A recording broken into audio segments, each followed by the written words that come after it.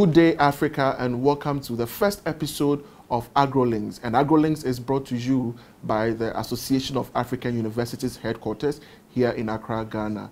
And today, being the first episode of AgroLinks, we are privileged to be hosted by the Executive Director of FARA. And FARA is the Forum for Agricultural Research in Africa. And we will be discussing the role of agricultural research in Africa, um, um, the, the role of FARA in agricultural research in Africa. And we are so much privileged to have Dr. Yemi Akinbamijo, and he is Executive Director who will be taking us through the role of FARA in agricultural research and development in Africa. You are welcome, sir. Thank you very much. How are you doing, Prof? Pretty, pretty well, and it's a great pleasure to be able to um, be your guest at the very first maiden edition of um, AgroLink. FARA is privileged, and we're very, very delighted to be able to share our perspectives um, to the audience on um, AU, AAU TV. Work as well. Yeah. Okay. So we are also much privileged to to be with you this morning to look at some key issues concerning agricultural research and development in Africa. But in the very first place, we want to find out what has been the role of FARA in advancing agricultural research and innovation in Africa. Well, thank you very much. Um, FARA became a child of necessity um, in the year 1997 when some of the elders of the day thought that there is a compelling need for a cohesive action towards galvanizing the nations on the continent to have a coherent move towards advancing agriculture on the continent. And um, so FARA was, was set up initially in the World Bank offices in Washington, D.C. And um, it came up at that time under the name SPAAR, S-P-A-A-R, which is the Special Program for African Agricultural Research. Um, but it was then managed from the World Bank as a program of the World Bank in 1997. So in essence, FARA started being a child of necessity, as I called it, because there was just no convening institution that can be the port parole for the continent when it comes to agricultural research and how to advance the cause of agriculture. So that was the raison d'etre, how FARA evolved. But then it um, ultimately shifted to Africa. I will refer to that relocation um, with time. Okay. So for how long have you been operating on the continent? Okay, basically, um, it was in 2002 that um, FARA ultimately took residence in Africa, building from the reasoning that it doesn't really make sense for an African agricultural research program um, to be domiciled in Washington. Washington. So it was at a meeting in Ouagadougou where the um, FAO office, regional office for Africa, was requested to host um, SPAAR, which has just then been renamed FARA, which is the Forum for Agricultural Research in Africa, and the likes of Adrian Mukibi, Kanayo Nwanze, um, Mokta Toure. Um, these are the big names, um, Mrema, Godfrey Mrema, and a few names around the continent, Florence Wambugu, who were the first thinkers that actually thought, yes, we need to be, bring this institution back to the continent and set it up as a full-fledged Pan-African institution, and it was hosted by the African, I mean, FAO office in Accra. So it was more or less um, a protege of the FAO, and, and by virtue of Africa, FAO being domiciled in Accra, FARA automatically came to Ghana. Okay, that's amazing. Then um, it means that practically FARA has been in existence in, on the continent for 16 good years. So what would be your assessment of, or what, what would be the state of agriculture in Africa, if I, I would ask you? Um, that's a million dollar question to start with, but I must also give um, a lot of credit to my predecessor, um, Monty Jones, and all the other men and women who paid their dues to ensure the advancement of agriculture on the continent is where it is today. Um, like um, it's, it's been said, um, in, in philosophical, philosophically speaking, that if I have not climbed on the shoulders of the giants, I would not have seen further. So um, I give the tribute to all those who came before me and um, paved the way for a credible agricultural institution, which was actually put together by the people I named earlier on. But also, I must give the credit to the sub-regional organizations, especially to ASARECA and um, CORAF, who are the first sponsors of FARA. And um, since the inception and um, the opening of or commencement of operations of FARA in 2002, you may recall that historically that was the year before Maputo. So FARA kind of, um, FARA came before Maputo just one year before. And um, it was not planned, but that was just, that's the history. And um, FARA came in, and not too long after that, FARA became the pillar institution responsible for agricultural technologies and dissemination of technologies under the CAADP initiative. So if FARA wasn't there, CAADP Pillar 4 would have had a big issue. And um, credit must be given to all those who helped to advance CAADP Pillar 4. In my own judgment, I would see that as probably the most successful of the erstwhile pillars of, um, of CAADP. You may recall there were four pillars on um, land and water management, on food security, on technologies and markets. And of all of these, I think there was none that had the kind of impact that FARA had, which means that FARA therefore came in at the right time and um, gave a soft landing for, for, for CAADP to be able to actually pave the way for the role of science in agriculture. And I will speak to that a little bit when it comes to the origin of the science agenda and, and, and what, FARA, what role FARA played um, in the outdooring of the science agenda within the bigger picture. Yeah. Okay. Then um, we want to know, you know, FARA is has been purposefully instituted to advance agricultural research, which we know research is very important mm -hmm. in every aspect of, of our continent. I know you may have heard of the developmental agenda on the continent, such as the Agenda 2063 of the African Union, mm -hmm. and also the African Development Bank. Um, one of the high-five strategies is to make sure that we are able to feed Africa. Mm -hmm. How does FARA come in in all these developmental agenda on the continent? Um, well, first and foremost, um, we, we should defragment the issues one after the other. Um, when you look at the, the, the high five of the African Development Bank and the Feed Africa initiative within the context of the high five, it's actually drawing on the comparative advantage of Africa. Now, Africa is one of those continents whose economies is agrarian, and of necessity contributes to the GDP of, that, of, the, of the continent. We contribute anything between 25 and 30 and 40 percent of GDP coming from agriculture. So it therefore makes sense that you concentrate on how to enhance that sector. In other words, you need to support the goose that lays your golden egg. When you look at the policy frameworks that are on the continent, uh, you, you've got the STISA, yeah. which is the Science, Technology and Innovation Strategy for Africa. You've got the CAADP, you've got the um, Agenda 2063, you've got the 3AGT, which is the Acceleration, Acceleration for Agricultural Advancement and Growth uh, Transformation. You've got the um, the Agenda 2063, which is the Africa we want, and all of this. Exactly. Now, all of these frameworks actually seek one common goal, and that is summarized in the Africa we want, which is the Agenda 2063.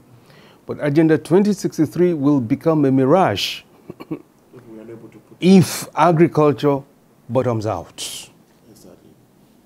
So that is the crux of the matter. Agenda 2063 will fall apart if agriculture doesn't hold water. So that tells you how important agriculture is. Now, if agriculture is that important to Agenda 2063, STISA 2024 will not hold, and the um, Malabo Declaration for 2025 will also not hold. So, I mean, these are strategic political frameworks that do not only contribute to the bigger goal of the SDGs, but for the good of the continent and for the realization of the Agenda 2063, you need to look into agriculture. Now, looking into agriculture, what does that mean? And that's where the rubber meets the road. It means investing in agriculture in a coherent, consistent manner. TAAT has come in at a time like this. I actually give a different meaning to TAAT. TAAT is Technologies uh, Transformation of African Agricultural Technologies, but I call it taking all actions together. Because definitely, unless we all have an all-round approach to the development of agriculture, we will not move. And as it is always said, the whole is greater than the sum of the parts. So we've got to understand that we have to have an approach that is all inclusive, an approach that is all embracing, an approach that is, that is, I would call it a synoptic approach that engages all hands on deck at the same time. Granted that agricultural development on the continent is at different levels in different countries, but in the history of agricultural development on this continent, nothing comes closer to the advancement that has been made because of CAADP. And CAADP is what it is largely also because of Pillar 4. And Pillar 4 is honed on the essence of FARA. So I'm, I'm, I'm taking my time to explain all of this so you see where FARA and agricultural technology stands in the bigger picture. I always say it, I mean, to double productivity, as Malabo says, is the easiest of our problems. And that's not the goal, that's a means to an end. So make no mistakes about it.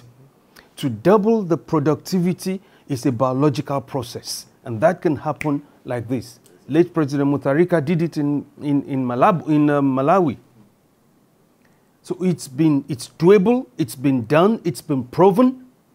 But the big question is the improvement of livelihoods. That's the end. So I always say that it's not just a question of doubling productivity. If you double productivity and livelihood is not improved, you've got double mess. It's a doubled mess in your hands. If you have double milk yield and you cannot sell it, you've got double mess in your hands. If you have a double yield of cassava or potato or tomato, call, call it whatever, unless you are able to transform that into improvement of livelihoods, then we have not made a mark. And that's why Agenda 2063, I like the, outgo the, the, the, the ultimate goal is to have an Africa that is food secure and a prosperous Africa. So the prosperity there is the key word, which is based, actually, if you look at prosperity in Africa, you must look at agriculture. Because the next wave of prosperity will spin out of agriculture. And it will only spin out of agriculture if you apply science that gives you both the mechanical and the biological advantages in agriculture. Okay. So, Prof, looking, um, doc, looking at the, the, the space, agriculture space at every country level, mm -hmm. we, you know, Africa, we are blessed with human resources. Mm -hmm. We are also blessed with natural resources as well. But how do we ensure that we're able to harness these two key resources that we have to promote agriculture on the continent? And how do we start from the country level and then at the continental level, everything comes together beautifully to achieve the agendas that we have on the continent? I think we have not given the due um, regard to agriculture as we should. Um, Dr. Kanayo Nwanze, the, the erstwhile president of IFAD, um, made a very uh, strong statement uh, when he was in office as IFAD president that Africa's agriculture is too important to be outsourced. And that's what we've done all our lives. We've outsourced Africa's agriculture. The funding comes from outside Africa. Expertise, expertise, training, everything, we look for donors. Until we recognize the need for us to have homegrown attitude that will be focused and directed at strengthening our capacities in-house, in continent, that is the only way for us to make a headway. So I believe that um, we need to build our capacities. We need to strengthen our infrastructures.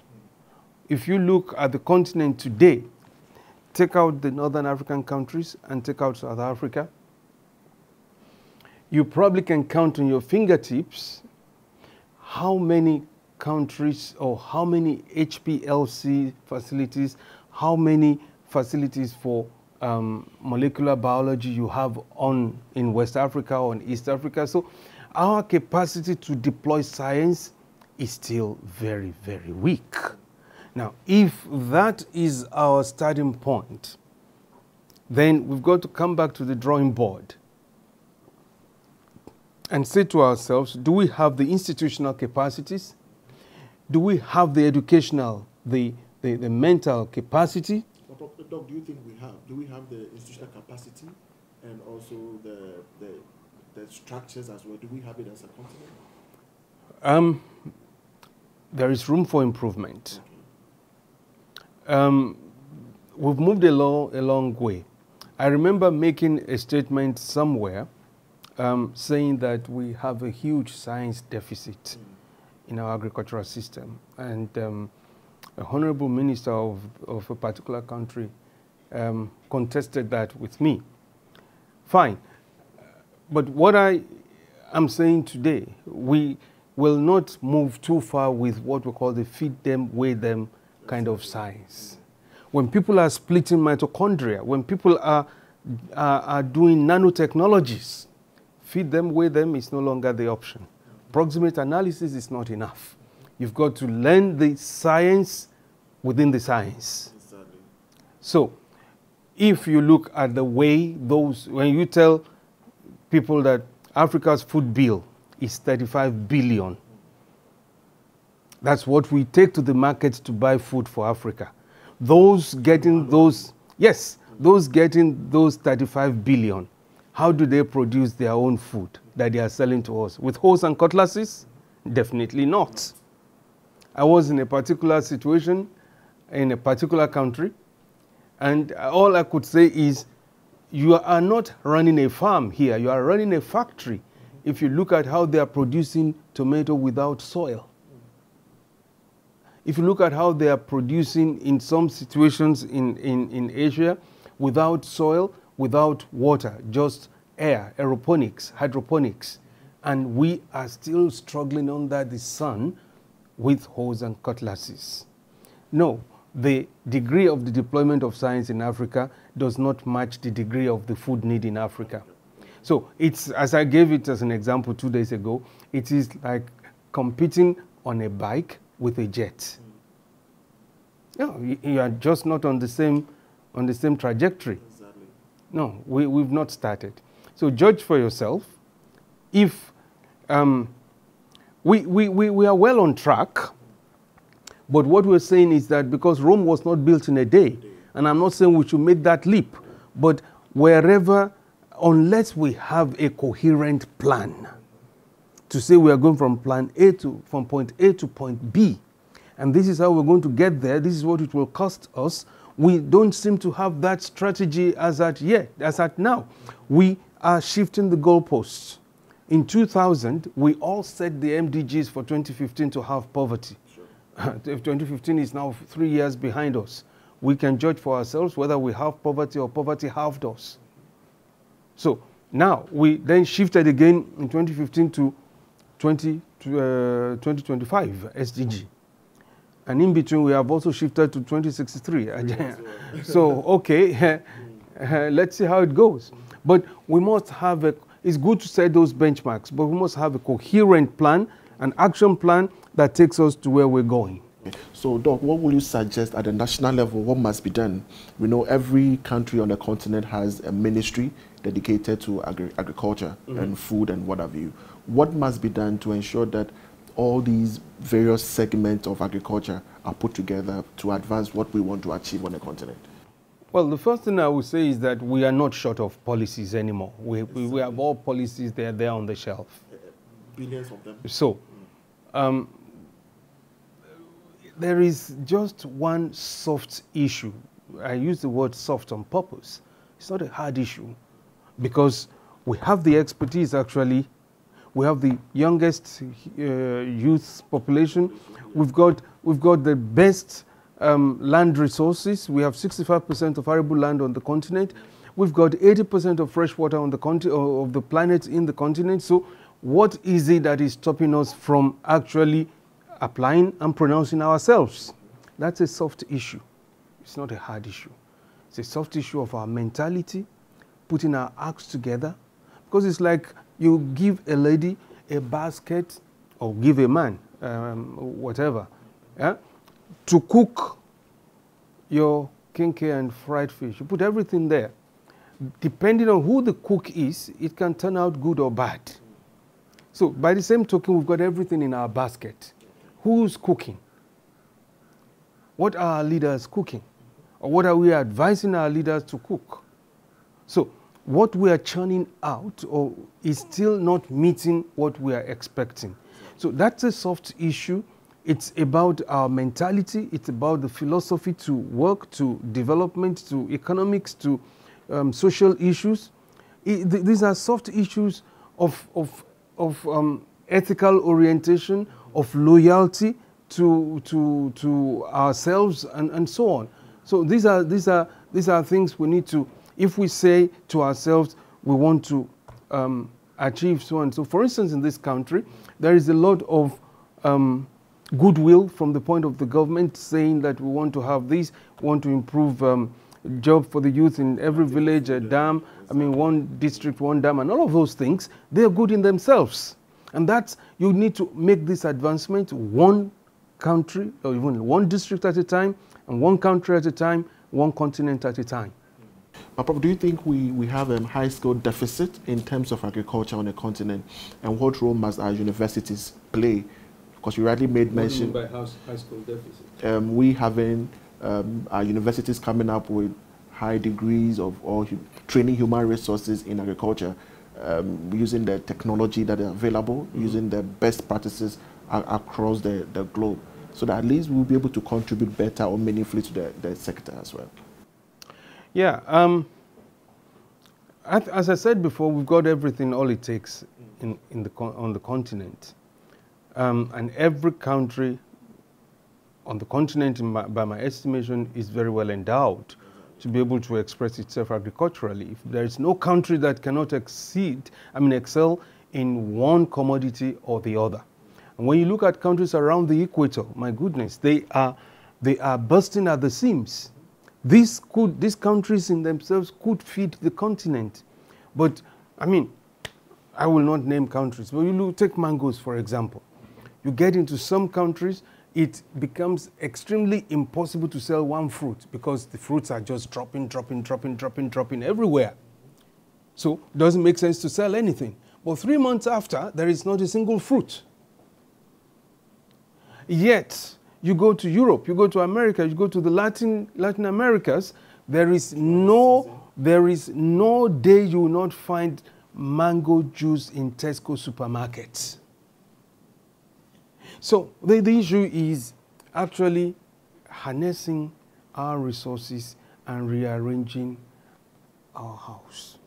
Everything is doable, everything is possible if the goodwill is deployed and the financial resources that would match the will is also deployed. So, Doc, is it because of the fact that we are not investing so much in agriculture in terms of research? That is why we've been able to come up with some of these interventions to have um, all-year crop yield for, for the entire continent. For example, we, we import a lot of fruit and vegetables that we have the right soil in Africa to, to just um, grow them. Is it because we are not investing in research? Well, not exactly. In my opinion, I mean, this is, this is a question that is um, neither here nor there. Um, don't forget that on the continent we have um, close to 1 billion people. Uh, put that next to India is 1.3 billion. India is making good progress, but India is just one country. There are 54 or 55 countries in Africa. So it's, it's easier to govern one single country from the center than to govern 55 sovereign states. So when you say, okay, everybody, let's put money in this direction, the priorities of the sovereign states take, take the kicking. And so having a cohesive action becomes an issue. Take, for example, I mean, there was just this meeting in Kigali earlier on in the year when the member states came together to say, okay, let's have um, duty-free processing zones and so on uh, not everybody is signing for their own good reasons. So someday they will come to the table and say, okay, we are ready.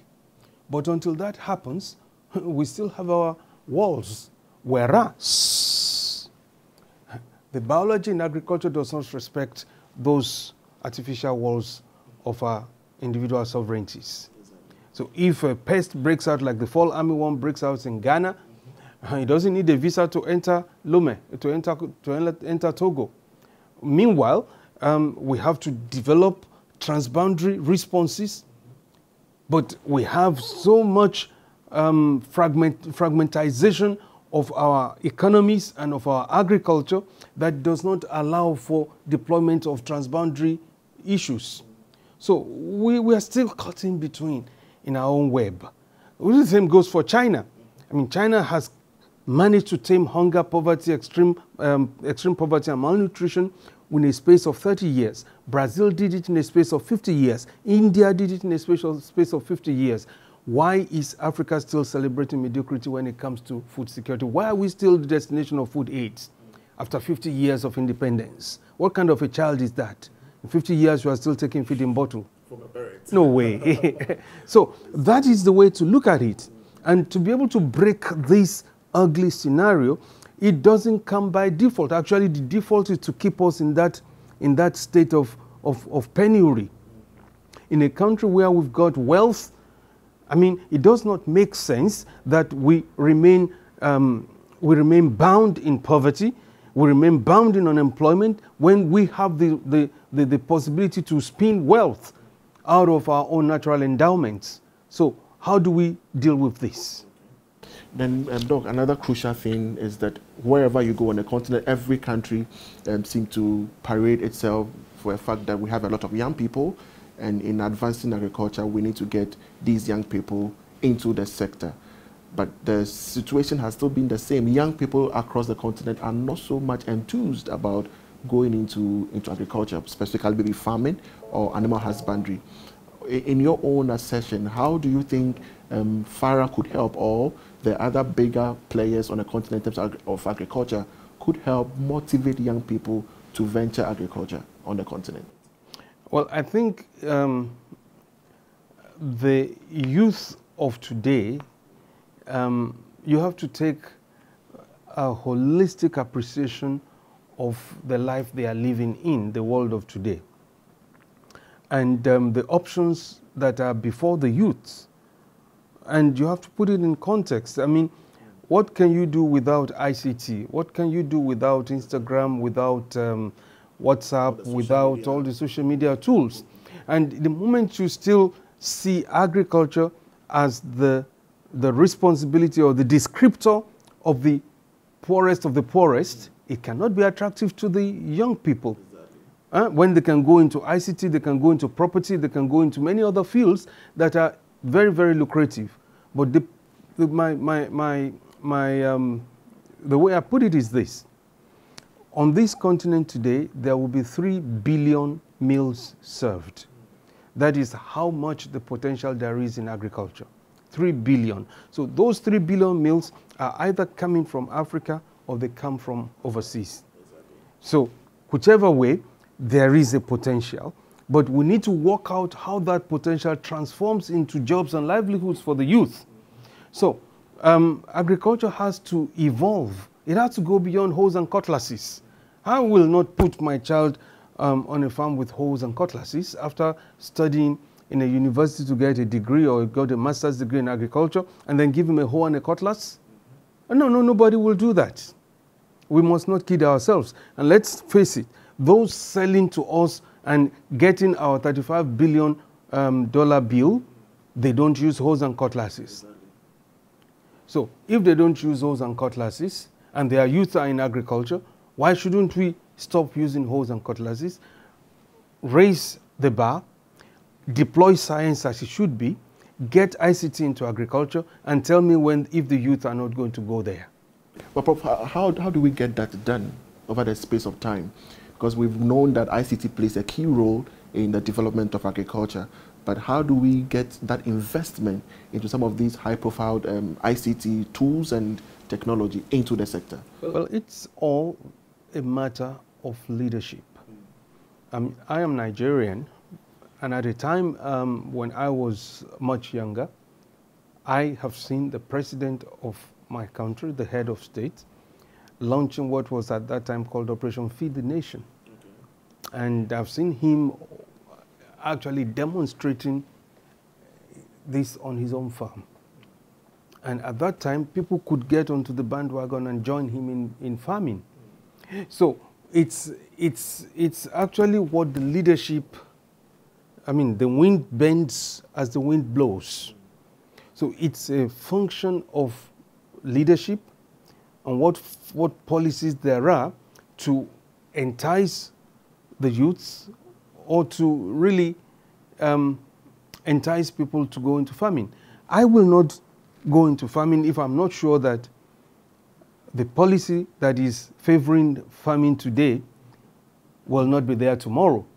Because then you are going to be caught high and dry, and then you are on your own.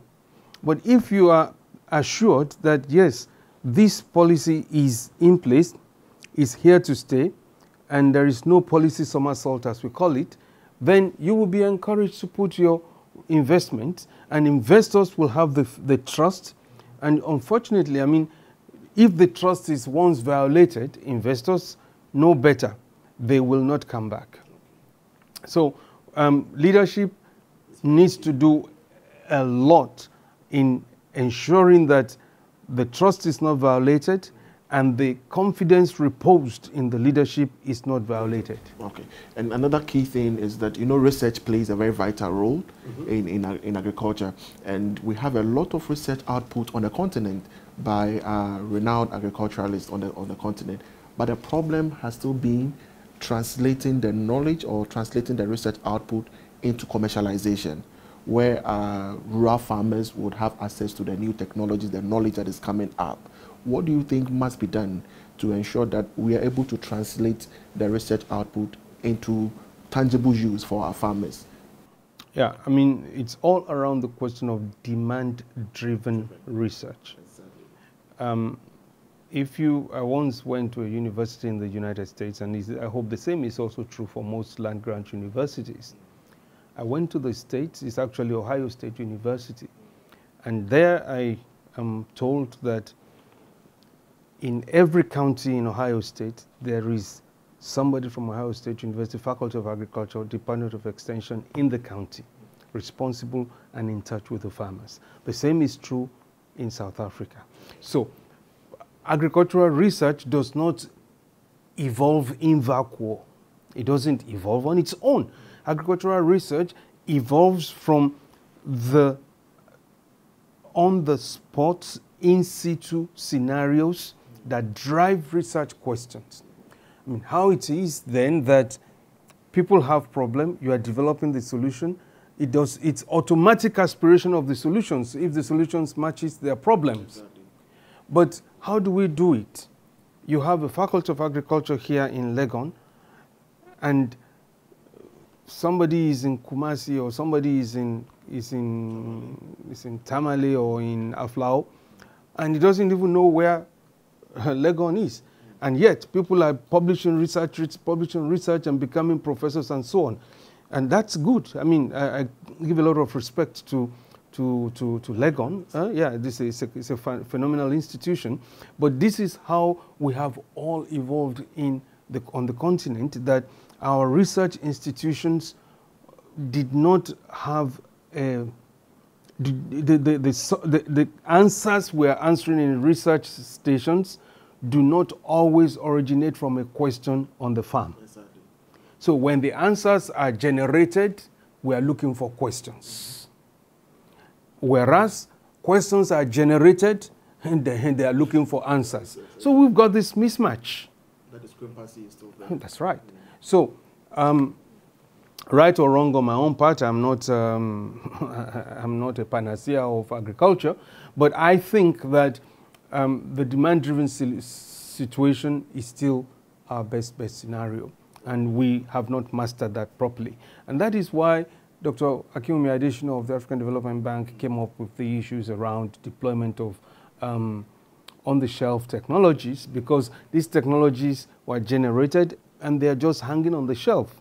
Now we have to look into the kitty and say, okay, what do we have? What is now good? We have to now kind of mix and match and then try to scale out. Because it's not all technologies on the shelf that is also needed on the ground. Exactly. And it's not all the problems on the ground that have um, solution on the shelf. So we have to mix and match, look into the shelf and look onto the farm and see what is corresponding and then new issues will, will emerge and we'll try to find solutions from the bench. Okay. So, Doc, um, in terms of FARA, what are some of the interventions that you do for, for these challenges that we have on the continent. In terms of research, um, what are the research interventions you come up with? In terms of teaching and knowledge sharing and translation as well, yeah. what are some of the interventions that FARA well, brings on board? FARA's flagship at the moment is what we call the Science Agenda for Agriculture in Africa. Now, the Science Agenda for Agriculture in Africa came out of what is called the Dublin process in 2010. Um, this was something that came out from the consultations sponsored by Irish Aid and a few um, cohort of donors meeting in Dublin and ultimately came out with a four-point agenda. One of these four-point agenda was to set up um, a science agenda for agriculture in Africa, which was ceded to FARA to lead. And one of them, the, the issues was also to sign an MOU between the CG centers and the Commission, uh, the African Union Commission. And then there were two other elements coming out of the, the Dublin process. But what concerns FARA the most is the leadership of the Science Agenda for Agriculture in Africa, which was outlawed in 2014. And um, unfortunately, even though we have this policy, we have this document outlawed since 2014, having the financial muscle to roll this out has also been a challenge. So, but recently, thanks to IFAD, who actually um, spearheaded the, the great work, we have now been able to um, operationalize the science agenda in um, all the five tier one countries, and we are now moving on with countries that are now putting active demand on FARA to mainstream science agenda like um, Togo, Benin, Malawi, South Africa, um, Egypt, Senegal, Ghana, um, Rwanda. So we have a few countries who are now doing what we thought should be the panacea, the right thing to do to ensure that we um, mainstream science in the way we do agriculture. As I always put it, I mean, you don't need rocket science in agriculture, but not to do science in agriculture is no longer an option. Exactly. Because, come to think of it, everything in agriculture, be it crop feed, be it livestock, is based on biology, Form 3 biology. The study of life. So you cannot, therefore, deal with, uh, with agriculture, deal with farming without science. But that said, the role of science stops at the farm gate. Now, after the farm gate, a different process kicks in altogether. So this is now driven by socio-economic factors, the market issues, the societal issues, the demand and supply issues in the bigger scale scheme of things, issues around infrastructure, issues, issues around um, jobs, issues around wealth creation, issues around infrastructure, roads, and, and so on. So these are the value chain. These are the things that then kick off um, post-production, which is no longer biology. But post-production will not happen if the pre-production is not solid and robust enough. Yeah. So, Doc, how does the ordinary farmer mm -hmm. um, get the intervention of, of FARA? Do you have sub um, groups, agencies that you work with who are able to translate everything that you do at the continental level to the grassroots farmer? Um, no, we we try to. Uh, FARA is the apex body, and we are actually underpinned by our sub-regional organizations, and we try to influence the national, um, the, the national, um, what is it, N, the, the national investments, uh, yeah, something in agriculture. Uh, it, just, it just escaped me now, but there is a national investment um, body and documents in every country, and we try to influence that. And by influencing that, what we try to do is to ensure that governments try to do things in a way that is science responsive, gender responsive, in a way that investments are applied to things that we think will kind of leapfrog the agricultural sector in every country, therefore galvanizing growth. Yeah. Okay. So then finally, before we, we, we let you go, mm -hmm. what do you make of the future of agriculture on the continent, taking into consideration the fact that now every country is um, kind of in a way developing infrastructure, putting up buildings here and there. We are still competing with the, the, the farming space or farming land. What do you think the future of Africa um, is in terms of agriculture? I think it doesn't get better than it is now. Um, sensitization of the youth has been at, at an all-time high because agricultural development is going to be linked, inextricably linked to the impact uh, that youth will make in agriculture. It's not the 60, 70 year old grandparents that will make the impact we are looking for. So this is an exciting period for us in Africa as I said, we've got 3 billion meals served per day on the continent. So that is the scope, the magnitude of the opportunities, the opportunities that we have on the continent. So um, this is also the, the, the kind of um, opportunities that exist for the youth, opportunities that exist for investors, because there is an obligate demand on every person to eat three times a day. Now, I either eat something that is grown here in Accra, or grown in West Africa, or grown outside Africa. But to eat is a must. Now, what you eat is the question, and what then is the role of the local markets, the local producers, in ensuring that they have a part on what is on my plate. Because if you look at the plate, we put a plate on your, on your table today. Look at that plate this afternoon. Look at your, your jollof rice. That rice is coming from Vietnam.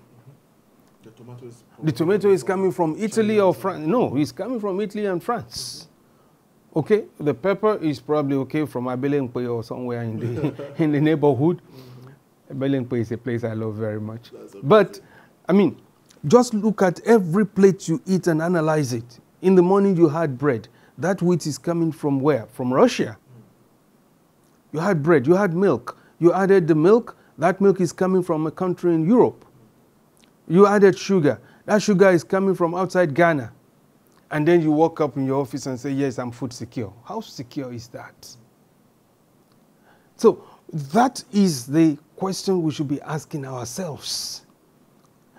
Look at the plate before you at every meal and ask yourself, what is the carbon footprint behind everything, every spoon you scoop? What's the carbon footprint? How many kilometers has that spoon traveled before it reaches your mouth? But nobody looks at those. Every good conversation, they say, never ends, but Yeah. that is, um, it has been so much amazing having you, and we have been discussing the, the role of FARA in terms of agricultural development in Africa. Yeah. Thank you so much, though. And we know your door will always be open to us when you come back. certainly. Thank you so much. Certainly. Viewers, this has been the first episode of AgroLink, and AgroLink is brought to you by the Association of African Universities. My name is Kwesi Sam, and thanks for watching. See you next time.